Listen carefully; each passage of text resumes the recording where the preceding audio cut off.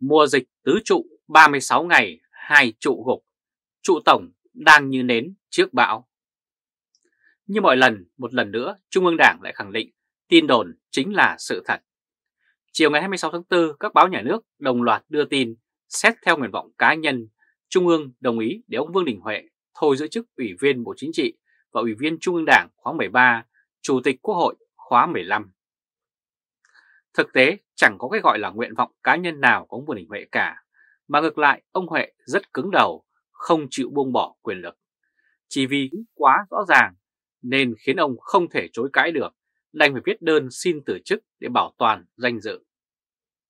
Trong kế hoạch của ông Huệ, ghế Chủ tịch Quốc hội chỉ để ngồi tạm trước khi được cơ cấu thay cho Tổng Bí thư Nguyễn Phú Trọng ở kỳ đại hội tới đây. Nhưng không may lại lòi ra một Tô Lâm phản chủ, đánh ông bay ra khỏi ghế, khiến ông phải ôm lấy thất bại, nhục nhã, ê chề. Vương Đình Huệ chính thức bị chóc gốc đúng như tin đồn. Chỉ mới ngày 20 tháng 3, ông Võ Văn Thưởng bị Trung ương Đảng loại khỏi chức vụ Chủ tịch nước, thì 36 ngày sau đến lượt ông Vương Đình Huệ cũng bị loại. Cả hai trụ này đều là nạn nhân của ông Tô Lâm, là Bộ trưởng Bộ Công an hiện nay. Và quả thực Tô Lâm đã lập một kỳ tích, lập một kỷ lục vô tiền khoáng hậu, chỉ trong 36 ngày đã bẻ gãy được hai trụ trong tứ trụ. Như vậy, kế hoạch bồi dưỡng nhân sự để truyền ngôi của ông Tổng Trọng đã bị Tô Lâm phá cho tan tành. Có thể nói, khi ông Võ Văn Thưởng nhận chức Chủ tịch nước vào năm ngoái, thì trong bốn trụ đã có ba trụ là thuộc phe lò của ông Tổng. Nhưng giờ đây, thế chân vạc tường vững như bàn thạch ấy đã bị Tô Lâm bẻ hết hai chân, chỉ còn lại một mình trụ Tổng chờ vờ. Có thể nói Bộ Chính trị chưa bao giờ khủng hoảng nhân sự như bây giờ. Cả thể chất và sức khỏe chính trị của ông Trọng giờ đây đang hội tụ về một điểm đó là yếu. Sức khỏe, thể chất của ông đã như ngọn nến trước gió, có thể ông sẽ ra đi theo bác Hồ của ông bất cứ lúc nào. Sinh mạng của ông đang trong tình trạng sống được ngày nào hay ngày đó.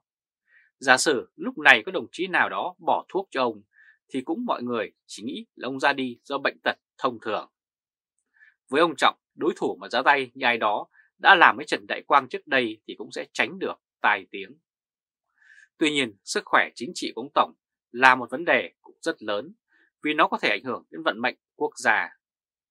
Bộ khung đã từng làm nên sức mạnh của ông Tổng trong nhiều năm giờ đây đã tan đàn xẻ nghé kể từ khi ông Tô Lâm bất ngờ tạo phản. Nói về nghiệp vụ, Ủy ban Kiểm tra Trung ương chắc chắn không thể theo kịp Bộ Công an.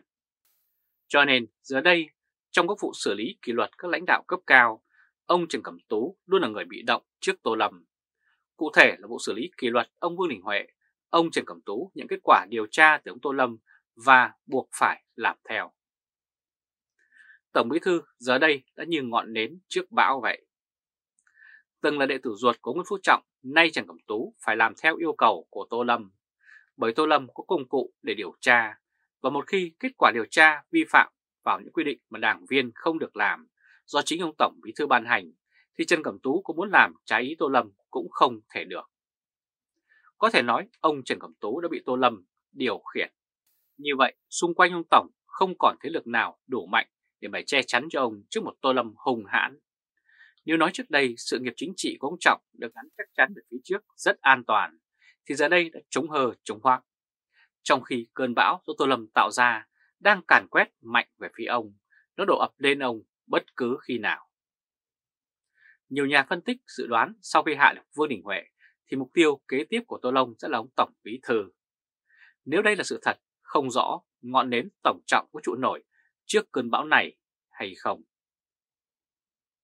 Quý vị và các bạn đã theo dõi chương trình truyền hình trực tiếp của Thời báo chấm với bản tin Mùa dịch tứ trụ 36 ngày, hai trụ gục, trụ tổng đang như nến trước bão.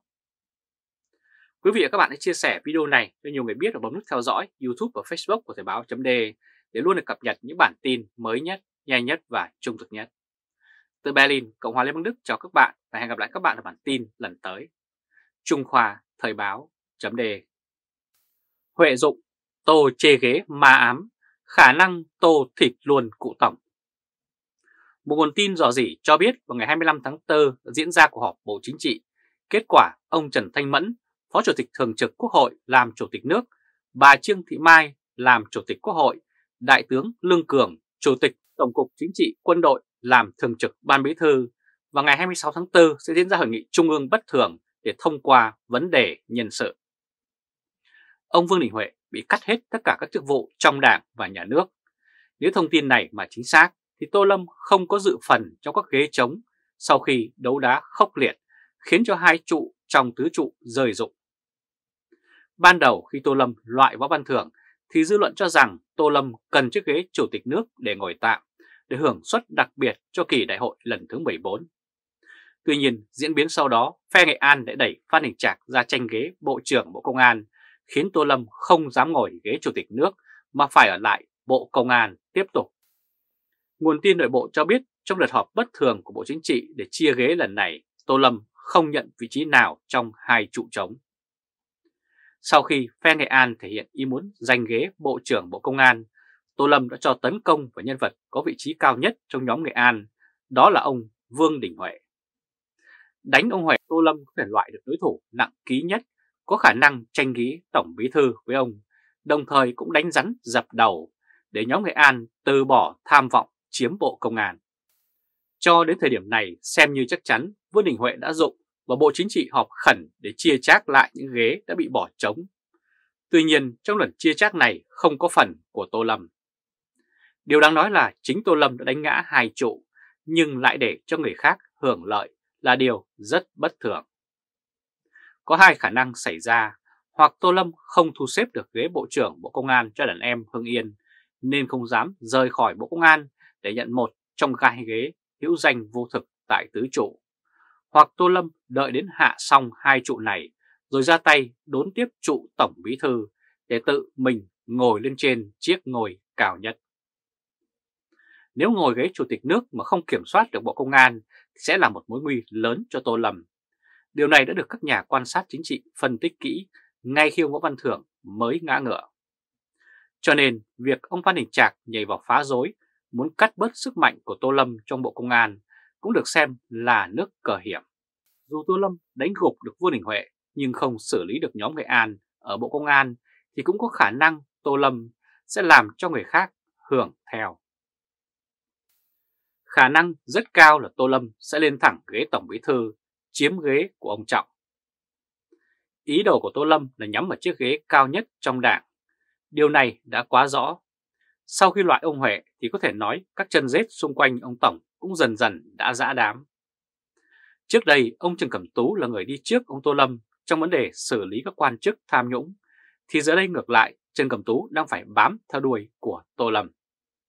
Điều đó cho thấy lực lượng còn lại của Tổng Trọng sau khi Tô Lâm tạo phản cũng ngán ngại Tô Lâm và có thể nói cơ hội phế chức Tổng Trọng chưa bao giờ tốt như lúc này.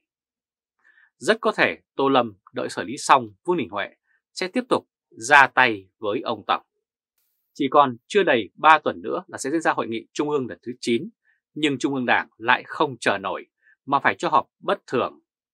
Điều này cho thấy các bên đang rất nóng vội. Những người thay thế được phân ghế vội vã vì nếu để lâu có thể cục diện sẽ thay đổi và cơ hội bị vuột mất. Còn với Tô Lâm có thể ông cũng cần phải nhanh chóng phân chia ghế để xác định hướng đi tiếp theo. Cung đình của Đảng Cộng sản Việt Nam đang loạn. Sắp tới đây sẽ có rất nhiều phim hay để mà xem dù Tô Lâm đang là kẻ mạnh nhất nhưng kẻ thù của ông ngày một đông và mối thù của họ với Tô Lâm cũng ngày một sâu. Nếu Tô Lâm đoạt được ghế Tổng Bí Thư, át hẳn các thế lực khác trong đảng cũng không để ông yên. Quý vị và các bạn vừa theo dõi chương truyền hình trực tiếp của Thời báo chấm với bản tin Huệ dụng Tô chê ghế ma ám, khả năng Tô thịt luôn cụ tổng. Quý vị và các bạn hãy chia sẻ video này cho nhiều người biết và bấm nút theo dõi YouTube và Facebook của Thời báo .de để luôn được cập nhật những bản tin mới nhất, nhanh nhất và trung thực nhất. Từ Berlin, Cộng hòa Liên bang Đức chào các bạn và hẹn gặp lại các bạn ở bản tin lần tới. Trung Khoa Thời báo .de